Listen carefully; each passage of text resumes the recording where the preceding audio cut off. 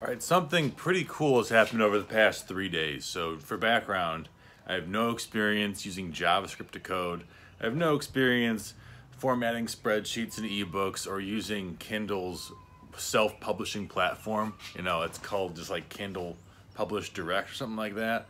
No experience at all doing that. But over the past three days, I was able to, from scratch, create a book using only ChatGPT and Google and just free online resources. So I want to talk about what I did uh, and just a lot of the struggles and the path and everything because I think that if you are trying to figure out ways to make money with the free services that exist online, maybe it's Amazon or it's ChatGPT or it's Google or any of this stuff, you don't have to do what I do. And in fact, you shouldn't do what I do because this is just like an exploratory project but I think the way that I lay these thoughts down and the patterns you begin to see are going to be helpful to you as an entrepreneur because that's what most of entrepreneurship is, is just seeing patterns and uh, making money off them or solving problems and just stuff like that. So let's scan back three days, right?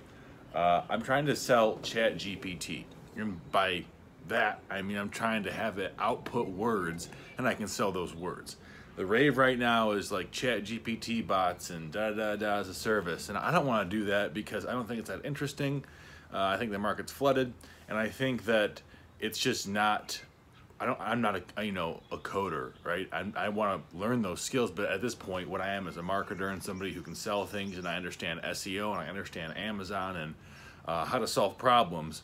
But understanding like all the intricacies of language and how to utilize and how to get the you know the best bang for your buck and find efficiencies and and systems based on servers and how it's going to be portrayed to the customer is not my not my cup of tea. What can I output and then sell?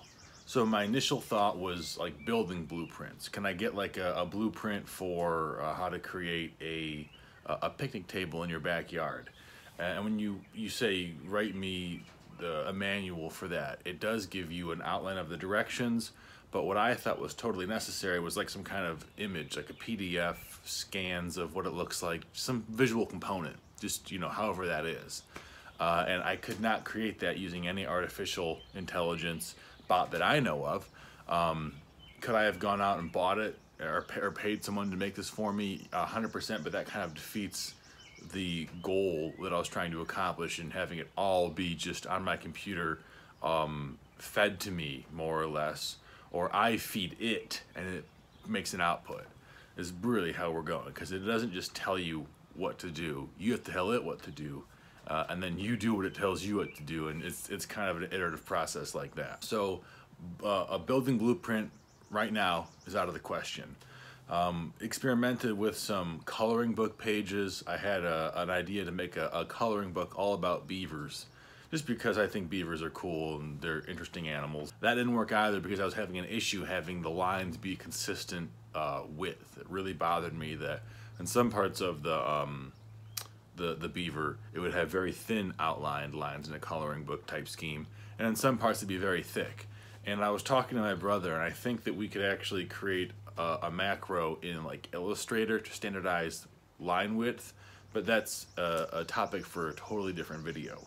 Then I said, okay, how about creative writing prompts? I can ask ChatGPT to give me X amount of creative writing prompts, and if I can package those in a way that is sellable, I can make some money because then I'm getting this basic product and I can rely on my skills as somebody who has product development and marketing experience and Amazon experience and all that kind of fun stuff to make money off of what is otherwise, you know, I'm sure they could go on their own chat, BG, chat GPT excursion and, and spend 25 minutes getting their own prompts.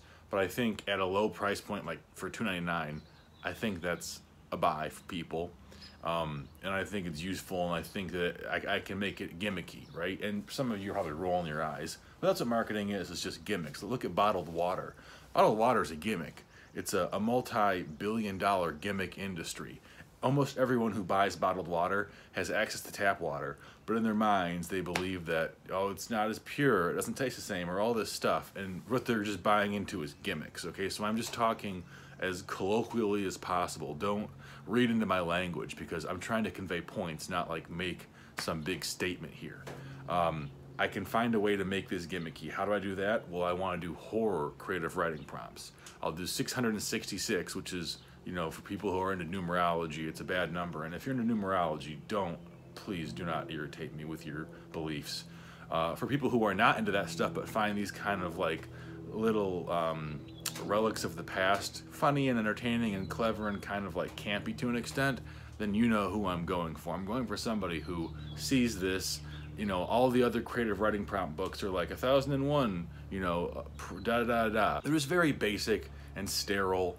Um, and I don't think somebody who is going towards uh, uh, the, the, hobby or career or whatever you want to call it, their passion of writing horror mo- stories, movies, novellas, uh, flash fiction, whatever. Uh, I don't think that they like sterile things. Okay, so you get what I'm going with this now. So I, I go to Chat GPT. I say, write me a hundred um, horror movie prompts. I didn't say horror movie. I said horror creative writing. But again, the details of the prompts don't really matter because you're going to be talking with Chat GPT and you're going to be iterating on different prompts, and each different prompt is going to give you um, a different output. And so my first whatever prompt, because it, it, truncates its response to you after like 2,000 characters or 4,000 characters. After a character limit, it truncates your response.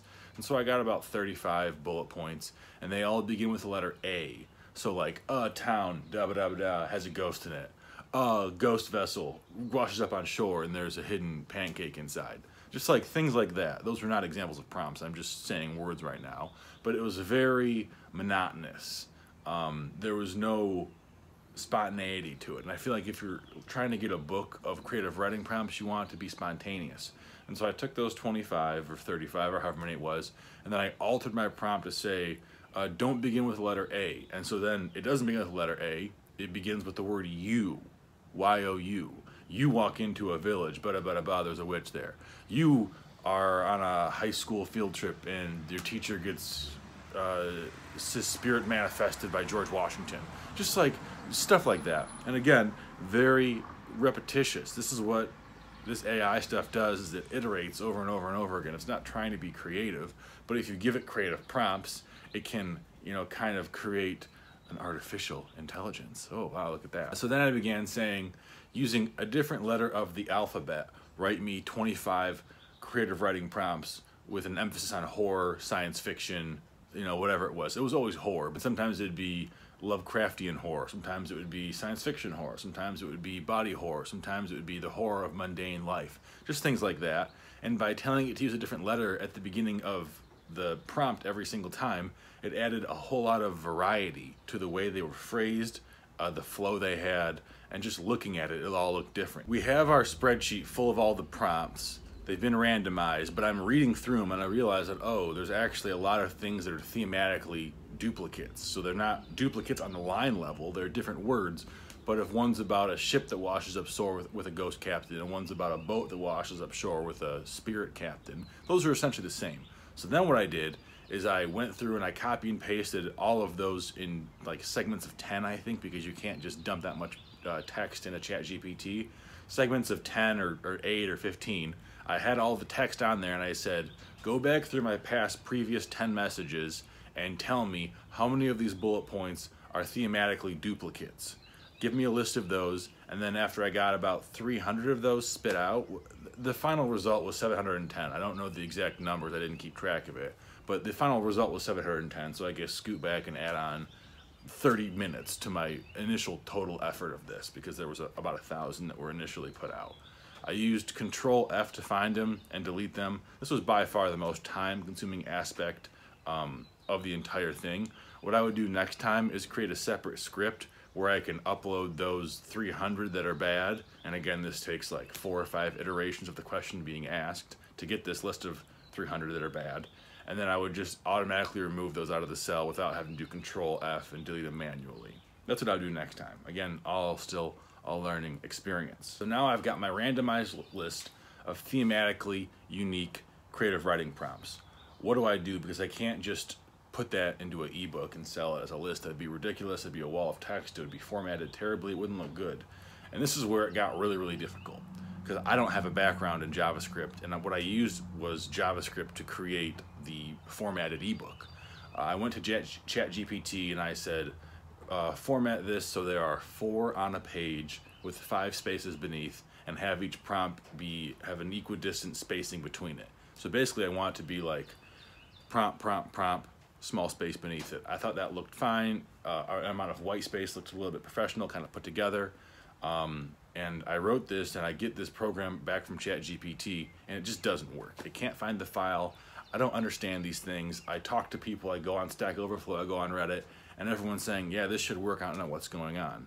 Um, this is when it occurs to me that ChatGPT is old enough where maybe there's some kind of UI change between the time that ChatGPT uh, came out and now on Google Sheets, where the info I'm getting doesn't work anymore. So I go over to Bing because Bing has ChatGPT 4, which is the most recent um, version of ChatGPT, and it has the ability to browse the web. Uh, and I thought, okay, maybe if I ask this the same question, it can spit out some code that I can then use to, um, to, to work. And sure enough, it did. Uh, it gave me the correct series of events to perform to get the desired outcome. It took me knowing how to ask it and where to ask it to get that, so it's not like I just pressed a button and got this stuff, but by understanding what I want uh, and how to ask it, I was able to get a program that was concise, simple to use. It would create a document, and then on every page of the document, it would take four of my creative writing prompts and equidistantly copy and paste them with a space for five spaces at the bottom of the page. Awesome. My book is essentially formatted. Um, I put a title page, I put a brief note at the beginning of the book on how to use this, basically just saying like, go to a page randomly, find one of the prompts and write it, just like four or five lines. Uh, and then I exported the file as a docx file, which is like Microsoft Word. Google Docs can do that. I could have potentially uploaded the docx file as the ebook, but Amazon recommends that you use, it's called like a KDF file. It's basically the format that Kindle prefers. And I don't know if it's because the data is more compressed. I have no idea. I didn't look into it. Uh, but to create that file, you have to download Kindle Create, which is a free program on PC and Mac. I downloaded that. I uploaded my docx file to that. I checked to make sure that it previewed out fine on iPhones and Kindles and tablets. Uh, and then I exported my docx file, which I had uploaded to Kindle Create as a KDF file or KPF. It's one of the two, but as, as Kindle's native ebook format for files. It took like 15 seconds to export after about three days of working. And then suddenly the ebook is finished. I go to my Kindle account, I upload the book. I use Kindle's cover designer to make a thematically relevant cover. It's just kind of surreal and red and spooky looking and says 666 horror creative writing prompts in big white lettering. And then it has my name in the top right corner. I think it looks fine. Uh, I wrote a very basic description. I put the keywords as horror writing, creative writing, writing prompts, stuff like that that's relevant. Uh, I put it in the educational writing category it's you know there's not a category for writing prompts but i tried to make it as if it was a book that would totally be used for educational purposes uh, and then i hit publish. Uh, priced it at three bucks because that's the lowest price you can put it at. That you know there's there's a, a royalty structure to kindle that i don't really understand that well so i'm going to skip that for now. But um, i priced it as low as i could essentially and I'm running a campaign for the next five days starting tomorrow where it's free for anybody to download. It was reviewed in about 12 hours and then it was live for download.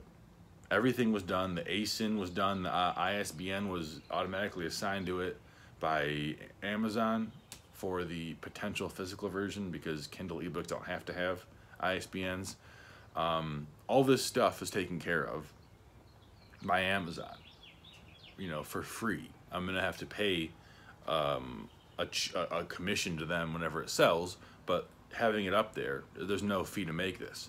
And so using Google, using ChatGPT, using Microsoft Edge, using just everything on the internet that's a free resource to me, I was able to, from start to finish, create an ebook that I think will provide value to people, that I think I'll maybe make a couple sales off of at least, but more importantly, I now not only have a script that will create these books at scale so I can do romance, creative writing prompts, science fiction, creative writing prompts, uh, you know, anything that is just the copy and pasting of individual lines onto a page that don't have to have a narrative structure. I can now create those with ChatGPT or any other AI writing tool for that matter. I can put them into a spreadsheet, I can randomize it, and I can make a document that has them formatted in a way that is more appealing to the eye than just a giant wall of text. It took me a few days to learn this, but I think it's pretty cool. If you like this stuff, give it a thumbs up. If you want to see my journey doing more of this, subscribe, and I'll see you guys later.